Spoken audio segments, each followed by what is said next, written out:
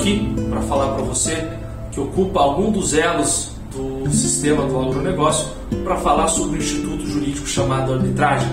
Arbitragem é um método privado de resolução de disputas que tem como principal objetivo criar uma alternativa ao sistema de resolução de disputas judicial. Hoje sabemos que o Poder Judiciário está é, atolado de inúmeros, uma grande massa de processo judicial e a máquina pública não consegue corresponder com a devida celeridade e a devida eficiência às resoluções de disputas.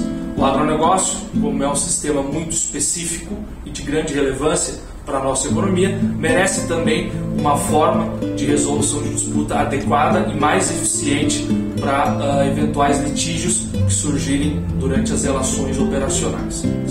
A arbitragem tem como inúmeras vantagens, se comparadas principalmente com o Poder Judiciário, a possibilidade de ter uma flexibilização do método de resolução de disputas, a celeridade, o sigilo e a, o conhecimento técnico por parte dos árbitros, por parte dos julgadores que irão resolver eventuais litígios.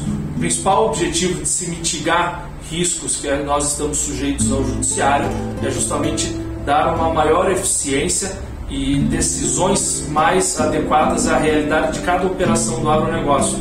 Mas em quais operações a gente pode utilizar a arbitragem inserida no agronegócio? Nós podemos utilizar ela em cada um uh, dos, dos elos da, do sistema agroindustrial.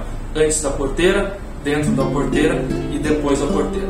E um exemplo, antes da porteira, nós temos todas as relações de fabricação de insumo, fabricação de rações, por exemplo, para proteína animal, contratos comerciais de prestação de serviço por uma e outra empresa uh, para fabricação de ração, para fabricação de insumos, podem uh, submeter eventuais uh, litígios para o procedimento arbitral e tirar da morosidade do Poder Judiciário dentro da porteira, nas relações de ocupação e uso da terra, por exemplo, em arrendamentos, em parcerias agrícolas e rurais, nós temos a possibilidade de resolver impasses por meio de um método privado, a arbitragem.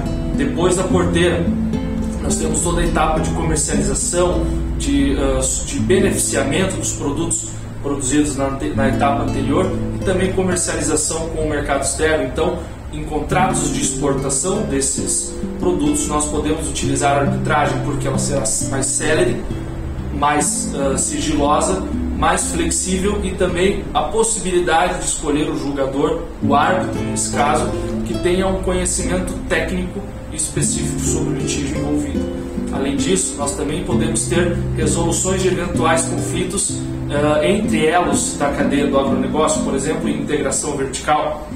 E uma outra alternativa muito uh, positiva seria para o setor cooperativista. As relações cooperativistas, relações entre cooperado e cooperativa, cooperativa cooperado e também em relações entre cooperativas, as chamadas intercooperações, a possibilidade de submeter uh, conflitos, eventuais conflitos à arbitragem é muito mais benéfica, visando sempre a perpetuação das operações e das relações da maneira mais adequada à realidade. Obrigado.